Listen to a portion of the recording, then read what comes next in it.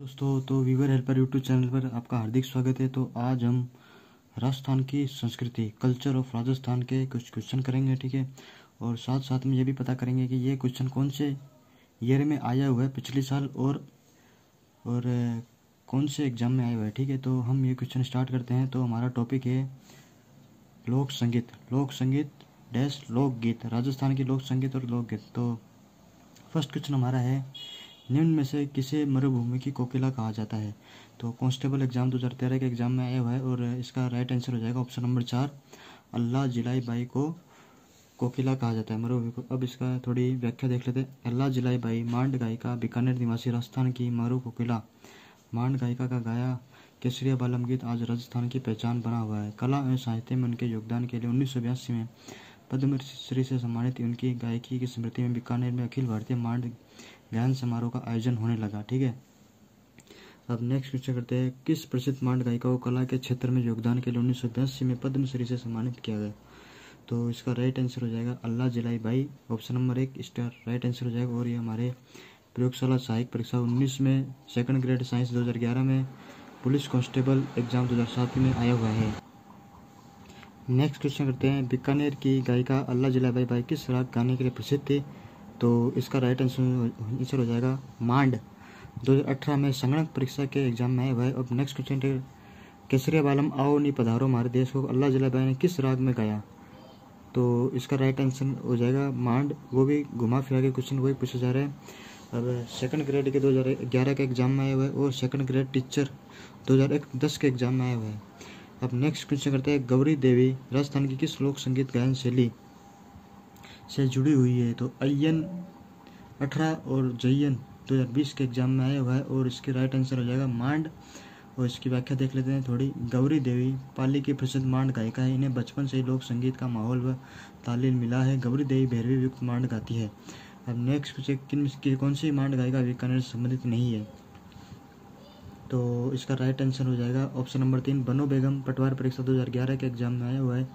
इसका right answer answer हो जाएगा बन्नो बेगम।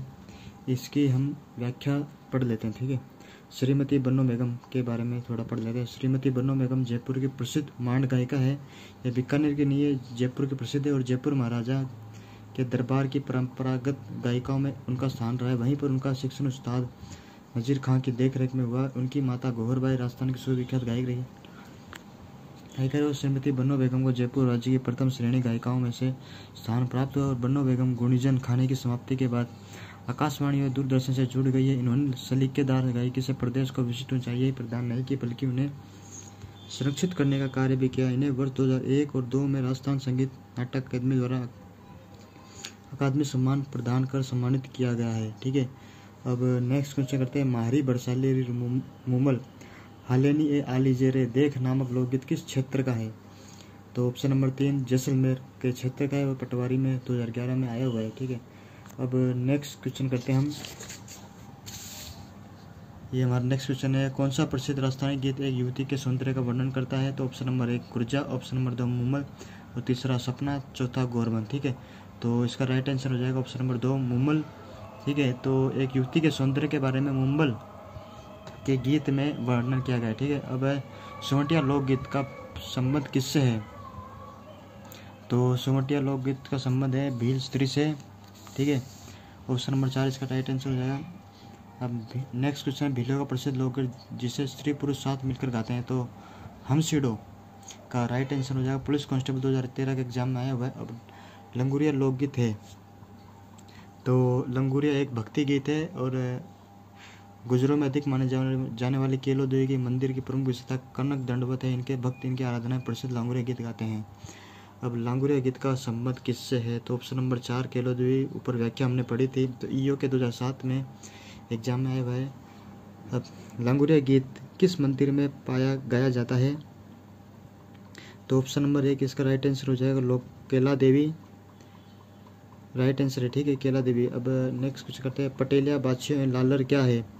तो राजस्थान के लो लोकगीत है, ठीक है? ईओ 2007 के एग्ज़ाम में आए हुआ है, ठीक है? व्याख्या देख लेते हैं। पटेलिया बिछल लालर आदिवासियों द्वारा पर्वतीय प्रदेश में गाया जाने वाला एक प्रमुख लोकगीत है, ठीक है? अब वही नीचे राइट व्याख्या ही। नीचे पटेलिया पाछी और लालर प्रमुख लोकगीत है। तो इसका ऑप्शन नंबर चार, आदिवासियों के प्रमुख लोकगीत है, ठीक है? और नेक्स्ट पावना गीत कब गाया जाता है? तो पावना गीत गाया जाता है ससुराल में जवाई के आगमन पर। पावना गीत गाया जाता है और कारापाल 2012 के एग्ज़ाम में आया हुआ है। ऑप्शन नंबर दो, इसका राइट आंसर हो जाएगा। और पावना नामक गीत गाए जाते हैं। तो पटवार 2011 के एग्ज़ाम में आया हुआ है। तो पावना, इसका वही नए दमाद को ससुराल में खाना खिलाते, इसमें गाया जाने वाला गीत है। और ये पटवारी 2011 में अब आज का लास्ट क्वेश्चन करते हैं। पंडित जसराज का संबंध किस से है? तो ऑप्शन नंबर एक मेवाती घराने से, दूसरा जयपुर घराने से, तीसरा डागर घराने से, चौथा आतरौली घराने से। तो ऑप्शन नंबर एक, इसका राइट आंसर हो जाएगा। इसकी व्याख्या देख लेते हैं।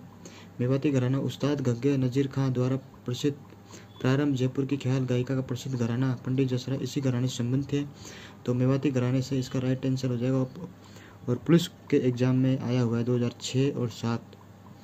तो ये कुछ, ये टॉपिक हम यहीं समाप्त करते हैं और मिलते हैं नेक्स्ट वीडियो में और वीडियो को लाइक कमेंट शेयर करें और सब्सक्राइब का बटन दबाना ना भूलें। धन्यवाद।